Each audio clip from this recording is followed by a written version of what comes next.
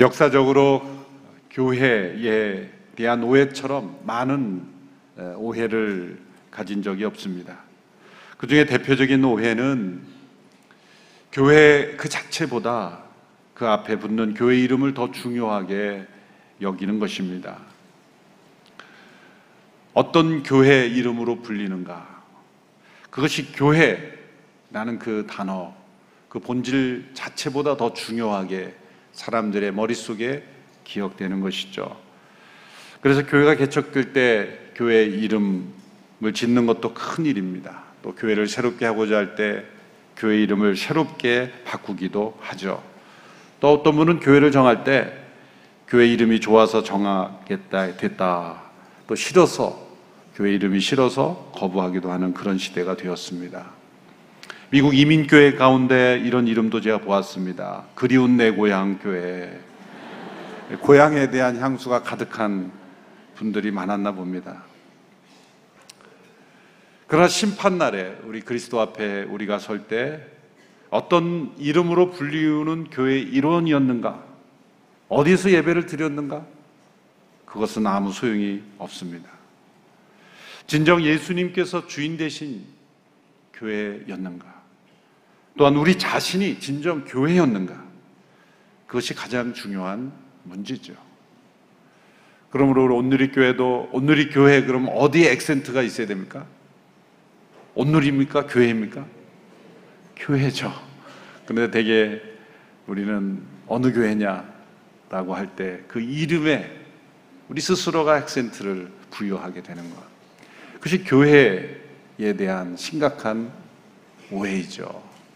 교회 그 자체가 너무나 소중한 이름이고, 교회 그 자체가 예수님의 계획 속에 있었던 소중한 단어입니다. 신약 성경에 예수님께서 교회라는 이름을 언급한 첫 번째 본문이 마태복음 16장이죠. 그리고 마태복음 18장에서 두 번 언급하심으로 세 번을 이 교회라는 단어를 언급하시죠. 헬라어는 에클레시아라는 이 단어를 예수님께서 친히 언급하심으로 교회에 대한 계획과 청사전을 말씀하신 것입니다. 그러므로 그 앞에 어떤 교회 이름이 붙여 있는가? 거기에 우리가 몰두할 것이 아니라 예수님 말씀하신 교회, 에클레시아 그 자체가 우리 너무나 소중한 거예요. 내가 교회인가? 정말 예수님께서 말씀하신 교회, 예수님께서 내 교회라고 하실 때 그 예수님의 교회, 예수님이 주인 되신 교회였는가? 그것을 더 깊이 생각하고 우리가 믿음의 생활을 해야 될 줄로 믿습니다. 예수님께서 어떤 의도를 가지고 어떤 꿈을 가지고 교회를 세우셨습니까? 하나님 나라를 이 세상에 드러내시고 세상에 속한 사람들이 하나님 나라로 들어오도록 하시기 위함이에요. 이 세상 속에 하나님이, 하나님의 나라를 경험하도록 하시기 위하여 교회를 세우신 것입니다. 이 세상은 눈에 보이지만 영원한 하나님의 나라는 눈에 보이지 않습니다. 보이는 세상과 보이지 않는 하나님의 나라를 연결하는 공동체가 교회입니다. 세상은 유한하지만 하나님 나라는 영원합니다. 유한한 세상과 영원한 하나님 나라를 연결하는 공동체가 교회입니다. 이 세상은 땅에 속해 있지만 하나님 나라는 하늘에 속해 있습니다.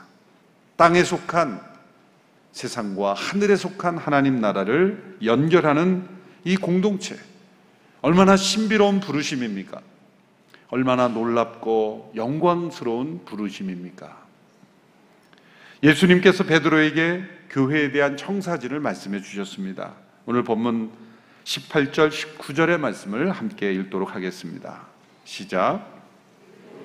내가 너에게 말한다. 너는 베드로다. 내가 이 반석 위에 내 교회를 세울 것이니 지옥의 문들이 이것을 이길 수 없을 것이다. 내가 내게 하늘나라의 열쇠들을 줄 것이다. 무엇이든 내가 땅에서 매면 하늘에서도 매일 것이요 내가 땅에서 풀면 하늘에서도 풀릴 것이다.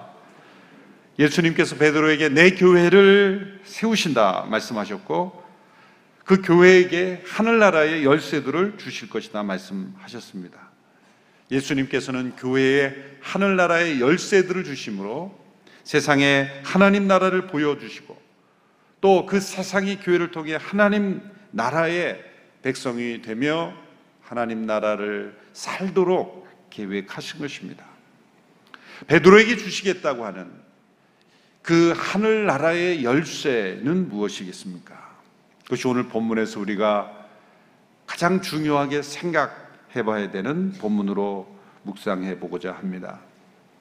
그것은 베드로의 손에 사람들이 하나님 나라에 들어오느냐 마느냐를 결정짓는 권세를 주셨다는 뜻이 아니죠. 베드로로 대표되는 이 교회, 이 교회에게 세상 사람들이 하나님 나라로 인도하고 이 땅에서 하나님 나라를 경험할 수 있는 그런 능력과 권세를 주셨다는 것입니다. 예수님께서 어떤 구체적인 교회의 제도나 조직 또 혹은 어떤 구체적인 어, 그림에 대한 말씀이 없으셨습니다. 그것은 어떤 의미일까요?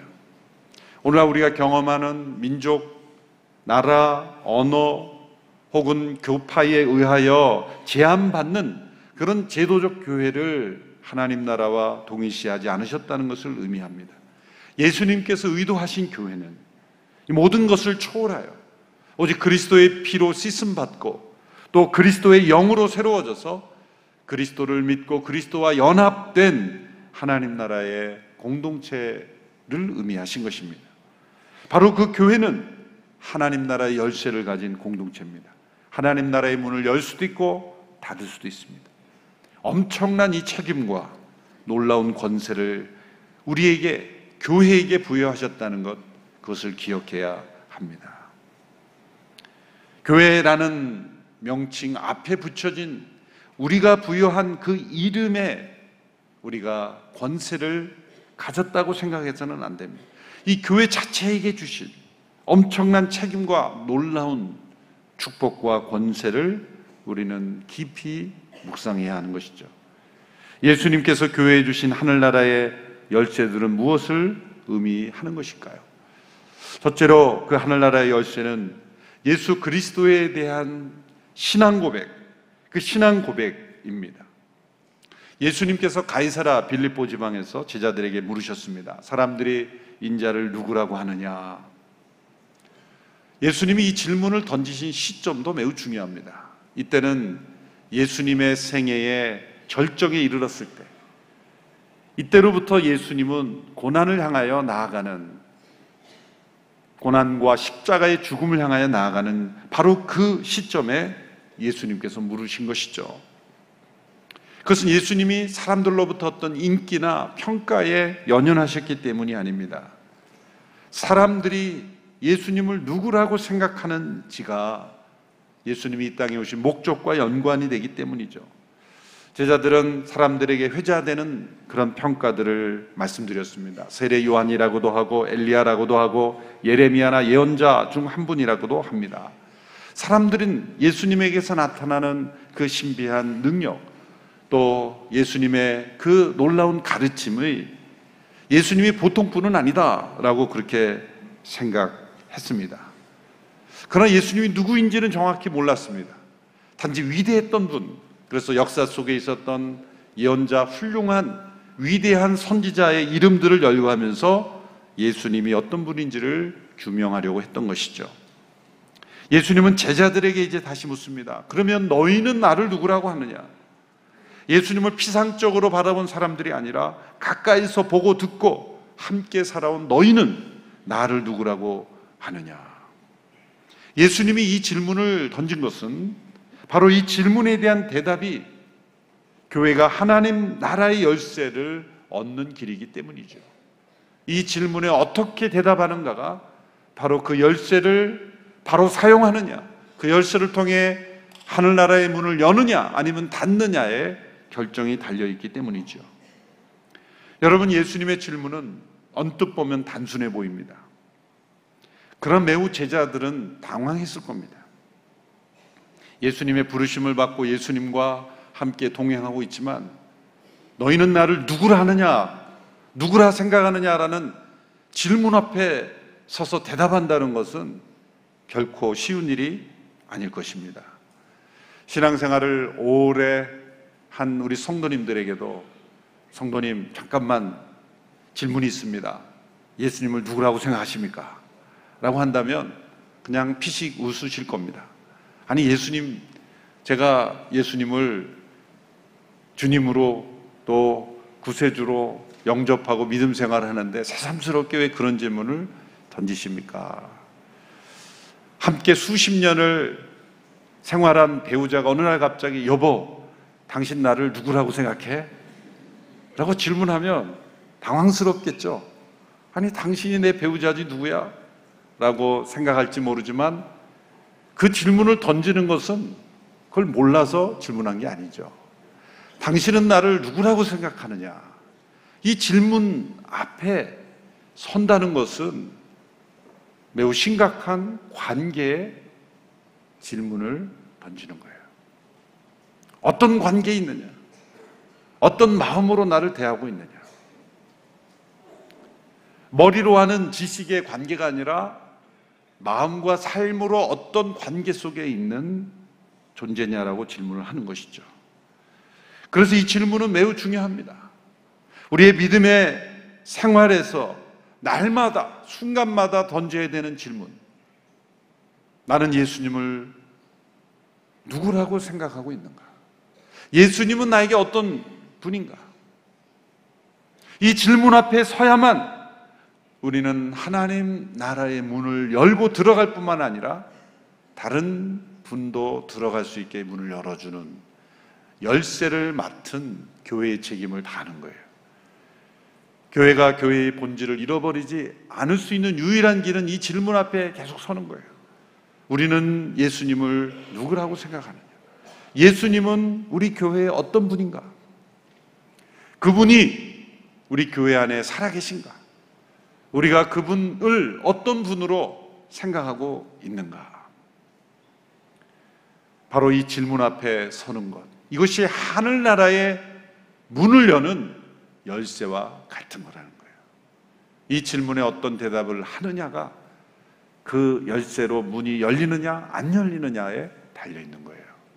이 질문에 대답하지 못하면 아무리 이 세상의 지식, 경험, 교회의 전통, 교회 사역, 봉사를 가지고 그 문을 열려고 해도 열리지가 않습니다.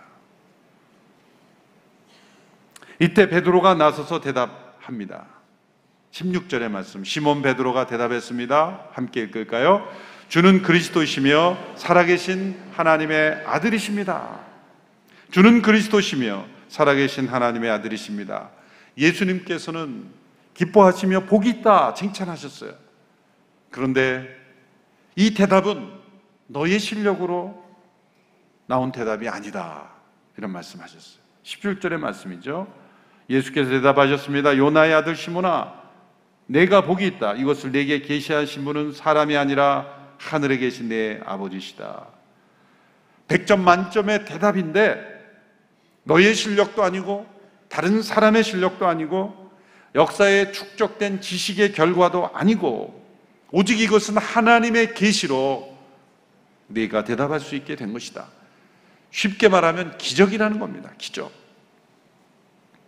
예수님에 대한 올바른 대답은 지적 판단으로 내려지는 것이 아니라는 거죠. 우리의 이성적인 판단, 우리의 추론, 어떤 실험의 결과, 그것으로 나올 수 있는 게 아니다. 주는 그리스도시요 살아계신 하나님의 아들이라는 이 고백은 기적처럼 내 영혼 속에 그리스도의 영이 임재하셔서 하나님의 계시가 임함으로 내가 고백하게 되는 거예요. 그래서 자신의 이성적인 판단으로 예수님이 누구인가를 곰곰이 생각해 보면 볼수록 예수님이 누구신가가 잘 믿어지지 않는 거예요. 하나님의 계시로 우리에게 주어지는 선물처럼 우리가 이 땅에 태어날 때 이 세상에 어떻게 존재하겠다고 계획하고 태어난 사람이 없는 것처럼 어느 날 이 세상에 존재하게 된 것처럼 하나님께서 선물로 은혜로 하나님의 계시로 우리의 영혼 속에 이것을 깨닫게 하시는 거예요. 주는 그리스도시요 살아계신 하나님의 아들이십니다. 이 베드로의 고백이 우리의 영혼 속에 살아 움직이는 고백이 되도록 우리는 기도해야 합니다. 주는 그리스도시요 살아계신 하나님의 아들이십니다. 이 고백으로 인하여 우리의 마음이 떨리고 이 고백으로 인하여 하나님을 찬양하는 우리 영혼이 되기를 원합니다. 하나님의 계시로 베드로가 이 고백을 하게 된 것처럼 저와 여러분이 하나님의 은혜의 계시로 우리 모두가 주는 그리스도시요 살아계신 하나님의 아들이십니다. 그분은 살아계십니다. 그분은 십자가에 죽으시고 다시 살아나신 우리의 구원자이십니다. 그 고백이 우리 영혼 속에 일어날 때 하늘의 문이 열리는 거예요. 하나님 나라의 문이 열리는 거예요. 그리고 내가 아닌 또 다른 영혼이 이 고백을 할 수 있도록 우리가 기도하고 복음을 전하고 그 영혼 속에 이 고백이 임할 때 그 영혼에게도 하나님 나라의 문이 열리는 거예요. 그것이 바로 하나님 나라의 열쇠이기 때문이죠. 두 번째 하늘나라의 열쇠는 바로 그리스도의 십자가입니다. 그리스도의 십자가. 베드로가 위대한 신앙 고백에 모범을 보인 직후에 예수님께서 그때부터 비로소 당신이 고난받고 십자가에서 죽으시고 3일 만에 다시 살아날 것을 말씀하셨어요. 하나님 나라가 우리에게 열려지기 위해서는 반드시 그리스도께서 고난받고 죽으시고 다시 살아나는 일이 있어야 하기 때문이죠. 그때 베드로가 다시 나서며 거칠게 소리 지르며 말했습니다. 주여, 절대로 안 됩니다. 그런 일이 죽게 일어나서는 절대로 안 됩니다. 그렇게 예수님께 소리 높여 말했습니다. 그때 예수님께서 베드로에게 이렇게 대답하셨습니다. 23절의 말씀 같이 읽습니다. 시작. 예수께서 베드로를 돌아보며 말씀하셨습니다. 사탄아 내 뒤로 물러가거라. 너는 나를 넘어뜨리는 걸림돌이다. 내가 하나님의 일은 생각하지 않고 사람의 일만 생각하는구나. 베드로는 바로 전에 예수님께서 로부터 받은 평가와 정반대의 평가를 받았습니다. 종전에는 너는 베드로다 이렇게 평가받았는데 너는 사탄이다 이런 평가가 됐어요. 좀 전에는 너는 반석이다 이렇게 평가되었지만 이제 너는 걸림돌이다 평가받았습니다. 너는 하나님의 계시를 받았다라고 말씀했지만 지금은 너는 사람의 일만 지금 생각하고 있다. 너는 복이 있다 이렇게 평가받았는데 너는 내 뒤로 물러가야 한다 그렇게 평가받았습니다. 어떻게 베드로가 이렇게 추락하게 됐을까요? 다른 사람이 할 수 없었던 이 고백을 하게 되었는데 왜 이렇게 사탄으로 걸림돌로 사람 일만 생각하고 내 뒤로 물러가게 되었는가?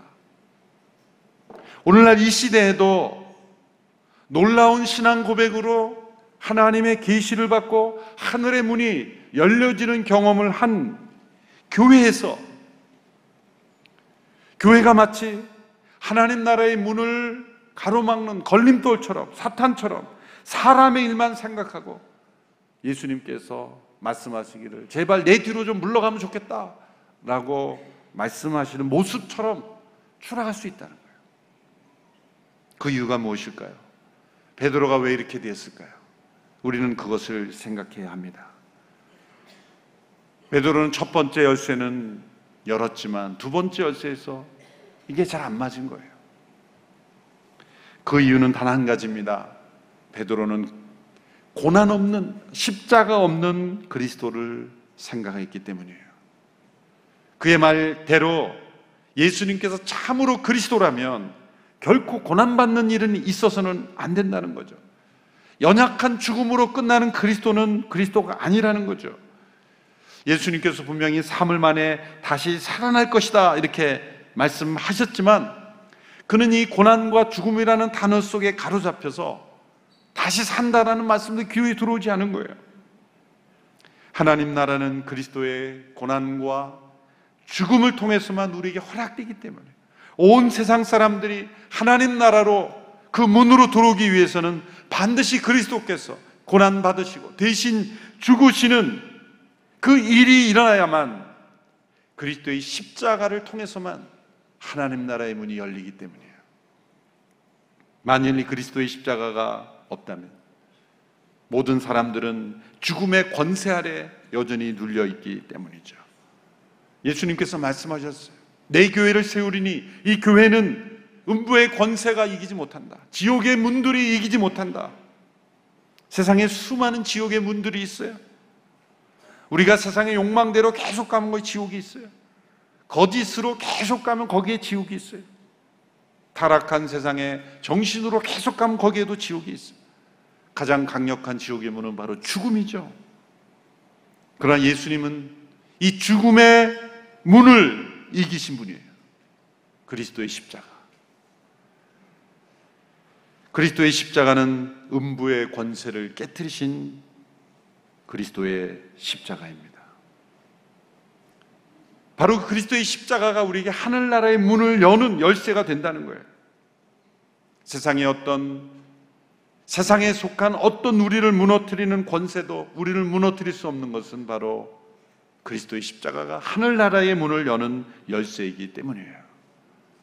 그리스도의 십자가 그것을 우리의 믿음 생활에서 뺀다면 우리는 하늘나라의 열쇠를 잃어버리는 거예요.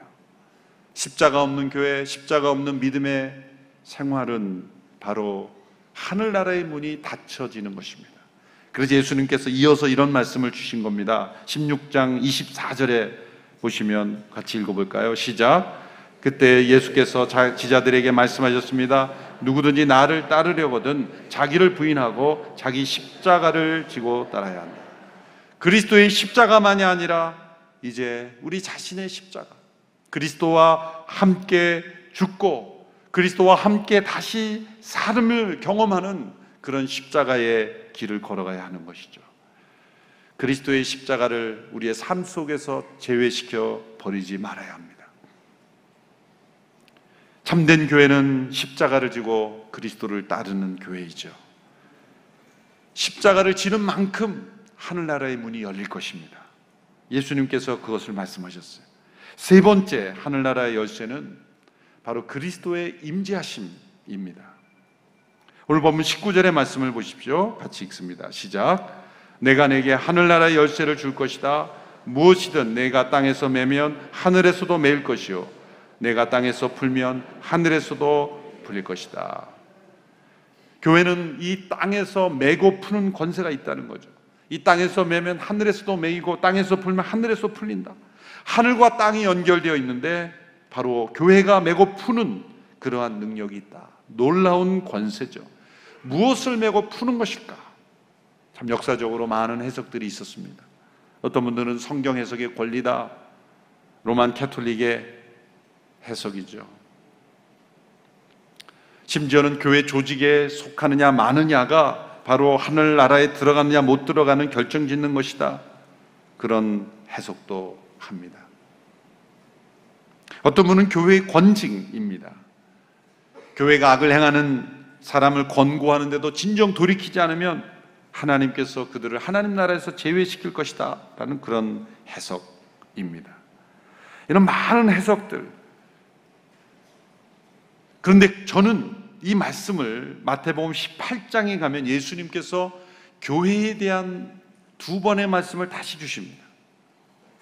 비슷한 말씀을 주시면서 또 다른 가르침을 더해 주십니다. 마태복음 18장 18절에서 20절의 말씀을 같이 읽겠습니다. 시작. 내가 진실로 너희에게 말한다. 무엇이든 너희가 땅에서 매면 하늘에서도 매일 것이요. 무엇이든 너희가 땅에서 풀면 하늘에서도 풀릴 것이다. 다시 내가 진실로 너희에게 말한다. 너희 가운데 두 사람이 땅에서 어떤 일이든지 마음을 모아 간구하면 하늘에 계신 내 아버지께서 그들에게 이루어 주실 것이다. 두세 사람이 내 이름으로 모인 곳에는 나도 그들 가운데 있다. 교회에 메고푸는 권세를 말씀하신 후에 말씀하신 것은 땅에서 두세 사람이 함께 기도하고 간구하면 내가 그들 가운데 있다. 이 메고푸는 권세는 기도를 통해서 우리에게 주시는 그리스도의 임재하심이에요. 어떤 문제의 해결보다 더 중요한 것은 그리스도께서 그 두세 사람이 예수님의 이름으로 함께 기도하는 자리에 그리스도께서 임재하신다는 거예요. 그리스도께서 임재하시는 그 자체가 하늘 나라의 문이 열린 거예요. 이 땅에서 우리가 하늘 나라의 그 삶을 어떻게 경험합니까? 그것은 살아계신 하나님의 아들, 부활하신 그리스도께서 우리 안에 임재하시는 거예요. 교회가 하늘나라의 열쇠로 쓰임을 받는 것은 두세 사람이 함께 모여 그리스도의 임재하심을 체험할 때 그게 그것이 바로 하늘나라의 문이 열리는 열쇠가 되는 거죠. 하용조 목사님 설교집을 보니까 이 메고 푸는 것은 용서와 전도 이러한 능력이 교회를 통해 나타나는 것이라고 말씀하셨어요. 이것도 같은 맥락이죠. 그리스도께서 임재하시면 용서할 수 없었던 문제가 용서가 되는 거예요. 믿지 않았던 영혼이 믿게 되는 거예요. 내가 얼마나 복음을 잘 설명했는가? 그래서 믿는 것이라고 생각하면 안 돼요. 그리스도께서 임재하셔서 나를 통해 나타나실 때 그 영혼이 믿게 되는 거예요. 두세 사람이 함께 그리스도의 이름으로 모여 기도하는 것. 여러분 이것이 교회가 가진 하늘나라의 열쇠입니다. 우리 성도들이 함께 모여 기도하는 것. 그것을 소중하게 생각해야 돼요. 그 자리, 그 자리가 바로 하늘나라의 열쇠가 열리는 순간입니다. 우리가 순예배에서 순식구들과 함께 모여 기도하는 것. 함께 모여 두세 사람이 모여 기도하는 것. 두세 사람이 모여서 기도해도 그리스도께서 임재하신다고 약속하셨으니 하늘나라의 문을 열고 닫는 맺고 푸는 그런 역사를 허락하셨으니 얼마나 놀라운 권세입니까? 여러분 하나님 나라가 천국인 것은 그리스도께서 계시기 때문이에요. 그분의 임재가 있는 곳이 바로 하나님 나라입니다. 교회에게 주신 이 놀라운 권세, 이 권세를 우리가 누리는 저와 여러분이 되기를 축원합니다. 교회의 주인은 사람이 아니라 예수님이십니다. 예수님이 주인 되신 교회는 음부의 권세가 무너뜨릴 수 없습니다. 땅에서 메고 푸는 권세가 있습니다. 이 땅에서 하늘의 역사에 참여하는 권세가 있습니다. 우리 온누리 교회가 그리스도의 임재하심이 살아있는 교회가 되기를 원합니다. 하늘나라가 온누리 교회를 통해서 세상에 나타나게 되기를 원합니다. 기도하겠습니다. 예수님께서 주인 되신 교회가 되기를 원합니다. 그리스도에 대한 참된 신앙 고백이 있는 교회가 되기를 원합니다.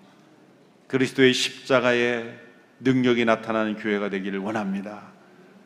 그리스도의 임재하심이 날마다 우리의 삶 속에, 우리 공동체 속에 나타나게 되기를 원합니다. 우리 모두가 참된 교회로서 주님 앞에 온전히 드려지기를 원합니다. 이 땅에 하나님 나라의 문을 여는 열쇠 공동체가 되게 하여 주시옵소서. 예수님의 이름으로 기도하옵나이다. 아멘.